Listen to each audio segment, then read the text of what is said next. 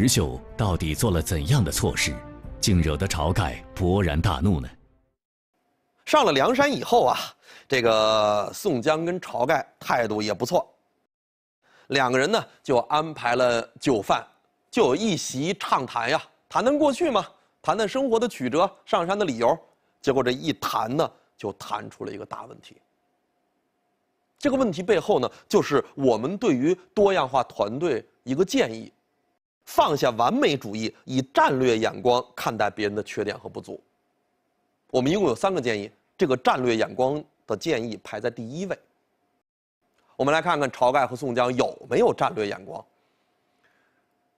酒席宴间，酒过三巡，菜过五味，杨雄、石秀就开始讲自己上山的历程啊，就讲到了祝家店一节，石谦偷鸡，火烧祝家店，李应双修生死书，单背受伤，石谦被祸遭擒祝家庄，就把这件事都说了。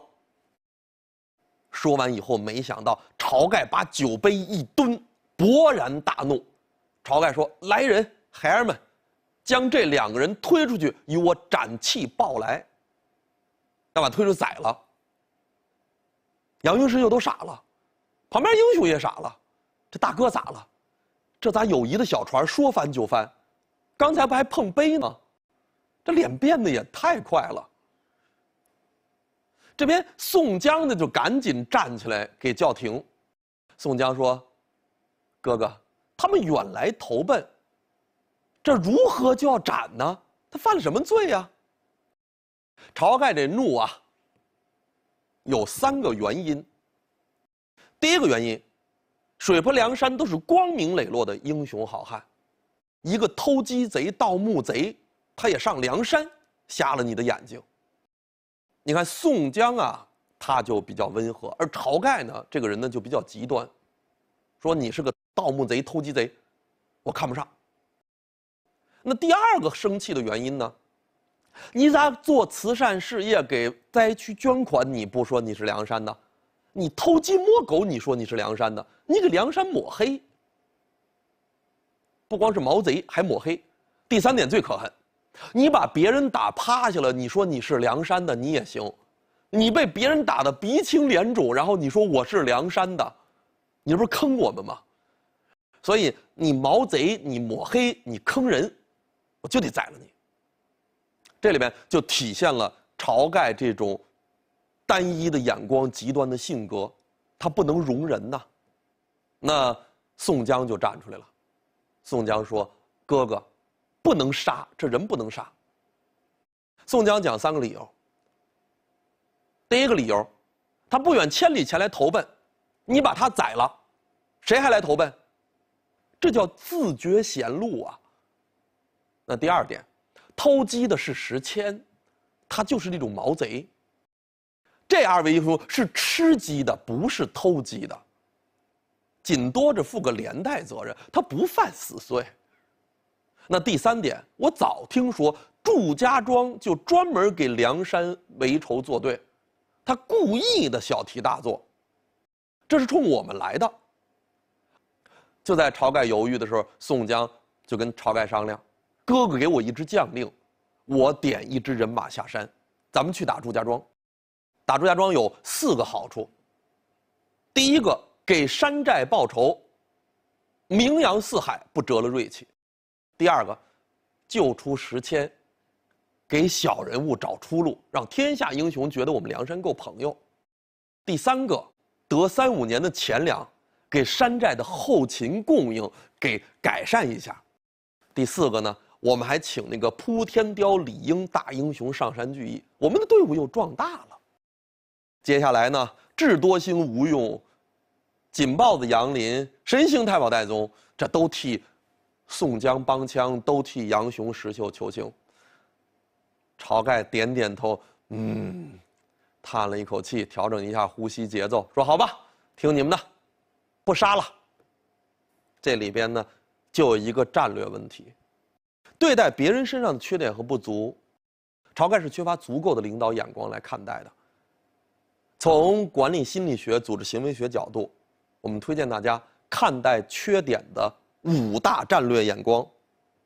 第一，用发展眼光看缺点。人在成长过程当中都是有毛病的，金无足赤，人无完人。可是人是要成长的。五年以前的缺点，那五年以后他就改了。每个白天鹅在当年都是丑小鸭，所以我们不能静态的、不变的眼光看人，他只要能改了就好。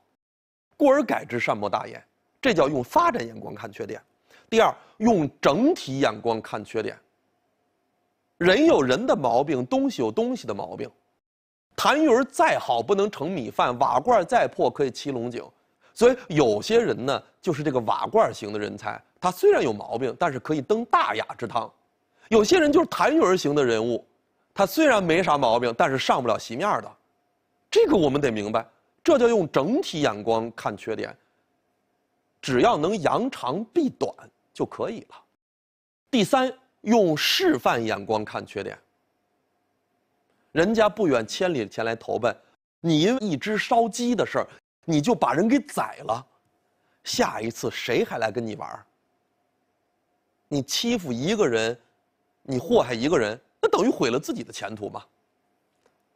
所以，如果这个人身上有点缺点和不足，你对他特别好，你还善待了他，你还给他出路了，那天下英雄就觉得，哦，你看他对有缺点的人都这样，你看我这方面没有缺点，那我更有机会了。那当然就天下归心了，这叫用示范眼光看缺点。第四呢，用互补眼光看缺点。每个人都有自己的缺点，没关系。我们再找一个人，能跟他互补，取长补短不就可以了？所以大家记住一句话：精彩都是搭配出来的。你看，你要性格比较急呢，那你就找一个性格比较慢的。赵老师要比较能说，嘴比较快呢。我就找一个比较含蓄、嘴比较慢的。